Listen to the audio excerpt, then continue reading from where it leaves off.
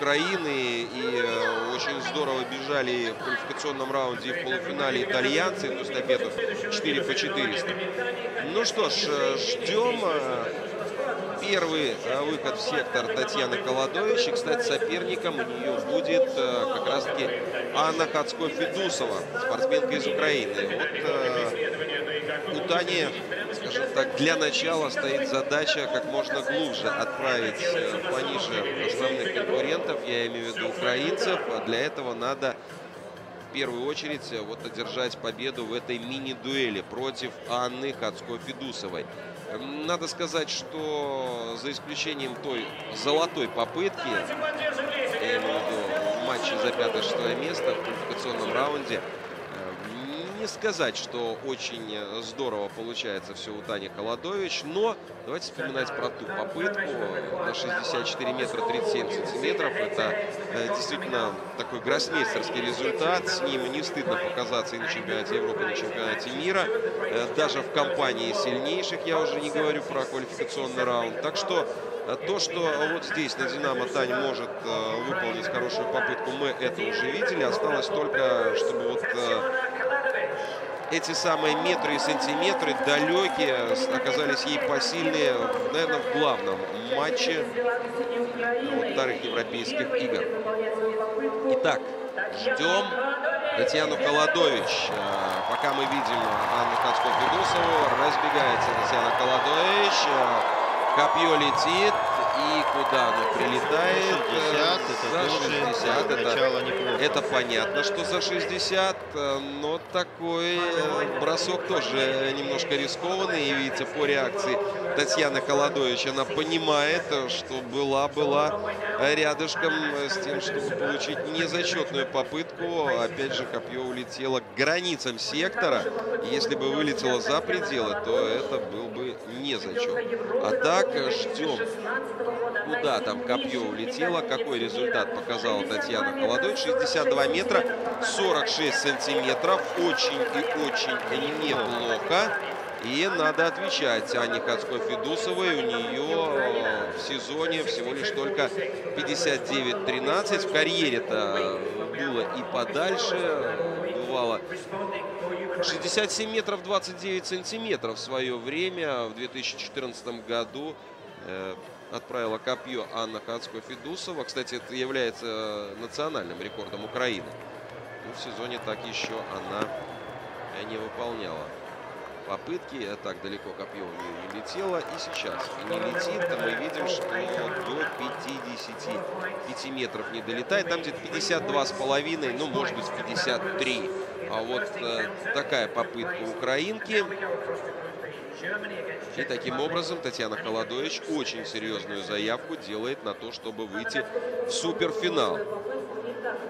Сейчас, кстати, показали когда приземлилось копье, балкон у нас есть такой между двумя ярусами.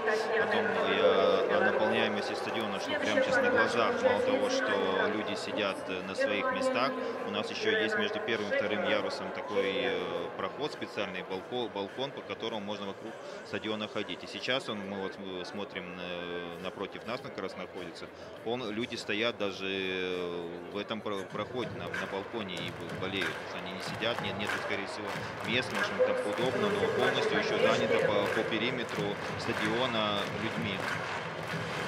Ну, стадион э, полностью оккупирован болельщиками, свободных мест нет. И вот эти самые балконы тоже под завязочку забиты. Аншлаг на «Динамо». А мы смотрим, куда там копье улетит после попытки Аники Фукс, спортсменки из Германии. Где-то в район 58 а может быть 57 с половиной метров. До 60 не долетело копье, но, но, но так, э, неплохая, неплохая попытка. попытка. Я напомню, что personal best у нее 62-36. Э, в этом э, году она показала. 57-94, ну, практически 58 метров у Аники Фукс. Дальше отвечать ей будет чешка Ирена Седева.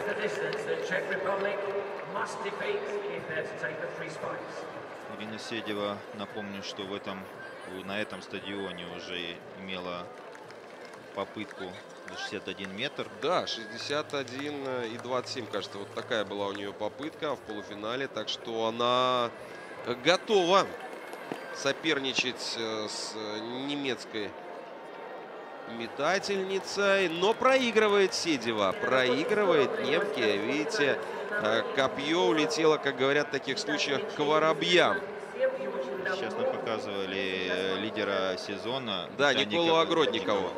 Чешскую спортсменку, которая принимала участие в первом квалификационном матче. Но сейчас уступила свое место своей подруге по команде. Ну, дело в том, что она уступила по результату. В квалификации у Огродниковой до 60 копье не долетело, у Седева было 61-27 в полуфинале. Поэтому... Ну, понятно, надо было выбирать с чешским тренером, они выбрали Седеву. Но, увы, э, пока прогадали, потому что свою мини-дуэль чешка проиграла. Фукс, а, видите, результат 56 метров. 20 сантиметров и 3 очка вот э, падают в копилку команды Германии в этой группе. Что у нас дальше? Дальше у нас э, Хацко Федусова против э, итальянки Сары Жимай. Ну, для украинки тоже такой момент э, тревожный. Два метра у них разница между результатами, показанными в этом сезоне, но я еще раз повторяю, что это финал, это эмоции, это очень большое давление на спортсменов в плане того, что им нужны, нужны очки в команде. Поэтому здесь нервы могут пошалить у кого-нибудь, и попытка просто-напросто не, не получится. Ну, я скажу, что здесь попытка, в принципе, э, такая рабочая. Не выдающаяся, до 55 копье не долетело, но Жимай э, на этих соревнованиях, вот в Минске тоже э, ничего блестящего не показала. Заоблачных результатов не было в ее активе. Там в районе 50-51 метра. Вот такие все ее были попытки в квалификационном раунде, и затем э, в четвертьфинале, и э, в полуфинале. Так что для Джимаи задача очень сложная. 54-64 для нее это, ну скажем так, многовато. Хотя она в этом сезоне имеет результат 57-17, но еще раз говорю о том, ну, просит поддержки, может быть, поддержка наших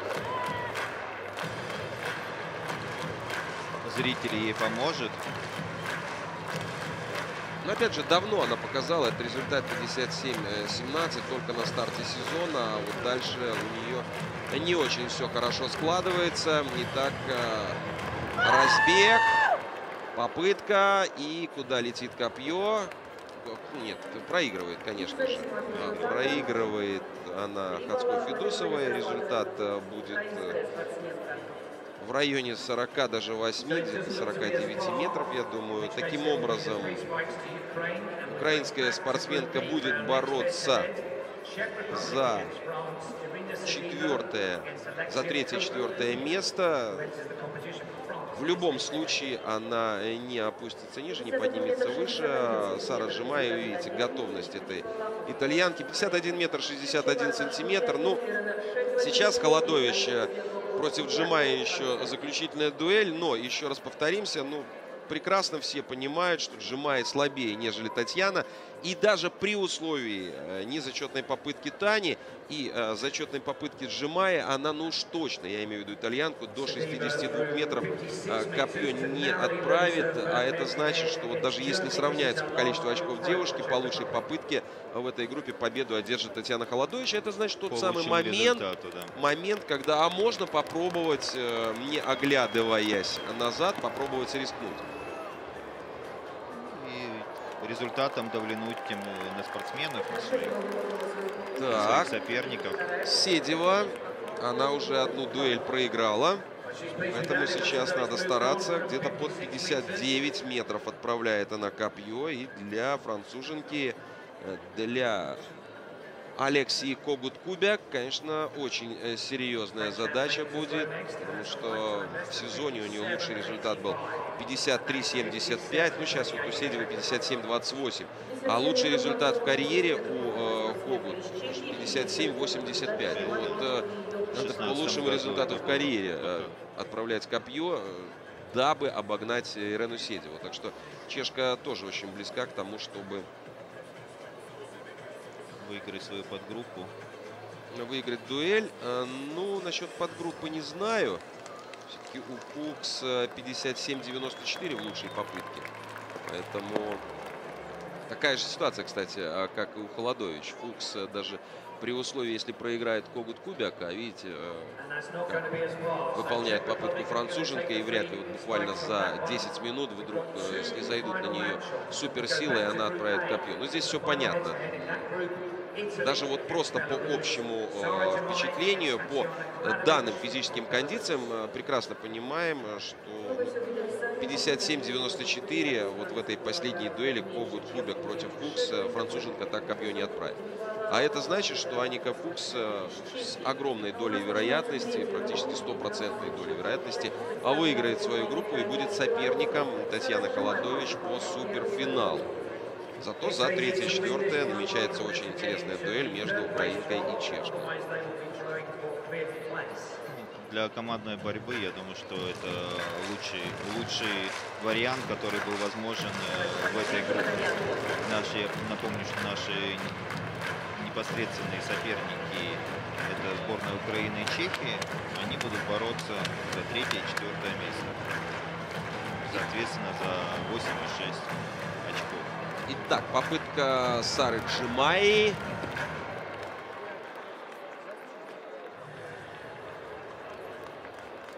Неплохо, неплохо. За Неплохо, 55, за 55, а вот так. Для нее это, конечно, очень хороший результат. И я сейчас думаю, Жимай просто э, сама себя спрашивает, где же ты была такая попытка в предыдущей дуэли? Вот этих 55 э, схватило бы, чтобы обойти Хацко Федусову. Тогда у украинки было 54-64. 56 По-моему, Сергей, она и по результату, да, по результату она ее обходит. По результату обходит. Ну и сейчас, кстати, чтобы Украинка в итоге оказалась на третьем месте, а не на втором в этой группе, Татьяна Холодович просто должна заступить. И тогда по лучшему результату белоруски будут первые. Первая будет белоруска. А второй станет тогда итальянка, Итальянка, да, а третий украинка. будет украинка. Вот, в эт- вот этот момент, кстати, э, настолько интересный. Подсказали Литане. Конечно, проигрывать специально не хочется, но от попытки Татьяны Холодович зависит место команды Украины в группе. Вот, Вот это попытка, друзья! Вот Ну как, это как нельзя не радоваться? И мы согласны с президентом нашей страны.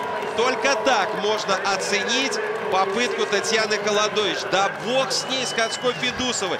Пускай сражается за третье и четвертое место украинка. Самое главное Очень сейчас это то, что показала Татьяна Холодович. 67-22. Фантастика. 67-22. Это для Тани лучший результат в сезоне. Всего лишь 18 сантиметров она проиграла лидеру европейского сезона Огородниковой, чешской спортсменке, которая здесь присутствует. Но вот показали и тренера Аксенчука, Дмитриевича, э, я про Таню говорил, что в прошлом интервью, что она э, уроженка города Пинска, представляет Брестскую область. Очень много болельщиков приехали, приезжают в Брестскую область специально за Таню поболеть. И видите, что это- ей это помогло. Но знаете что? Впереди нас ожидает финал. Еще одна попытка у Татьяны Холодович. Она из той категории спортсменов, которые, ну, если удалась попытка, она добавляет. Ух, прямо дух захватывает, чего мы можем ожидать у Татьяны Холодович. Э, Пока же она увереннейшим образом занимает первое место в своей группе, выходит в суперфинал, а мы, конечно же, с нетерпением ждем ее выхода в сектор в финале. Пока же давайте смотреть. Так, Алексия Когут-Кубяк, э, ее попытка, ну, опять же, не выдающаяся. 51 метр 54 сантиметра. И в любом случае она остается на третьем месте, а группу выигрывает Аника Фукс. Поэтому именно с немкой будет сражаться за победу Татьяна Холодович. Украинская спортсменка будет э, бороться за третье-четвертое место с чешской спортсменкой. Да. И наша итальянка Сара Джимай будет бороться с француженкой за пятое-шестое место. А у нас, напомню, э, после трех видов э, вот э, такая история. Первое место была Украина, 32 очка. Ну, вот Кацко Федусова будет за Третье, четвертое. Это максимум 8. Ну, так, и виртуально 8 добавим. А Татьяна Холодович 24 очка у сборной Беларуси. Ну, минимум 10, то есть это 34. Но мы думаем о лучшем. Так, а что у нас там э, произошло э, в итоге? Э, расстроенная Аника Фукс. Чего же проиграла расстраиваться? Ну, дуэль. проиграла дуэль, но она-то в любом случае первая. Но видите, это как раз-таки та ситуация, когда спортсмены не до конца э, просчитывают ситуацию. То есть здесь тренеры э, должны подсказать. Э, Ну, а у нас у нас готово очередное э, флеш-интервью. Э, Слово Геннадию Войтовичу. И, я так понимаю, Насте Мирончик Ивановна. against Belarus for the first, first place throw off.